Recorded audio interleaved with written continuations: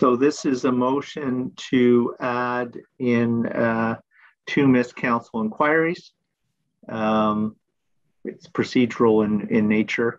I, I, don't think I need to read through the whole thing, but the inquiries, uh, one is uh, dealing with Cornerstone Housing for Women. The second is uh, fireworks policies and uh, procedures. And it's simply, as I say, to add these uh, to the list of communications on the agenda pursuant to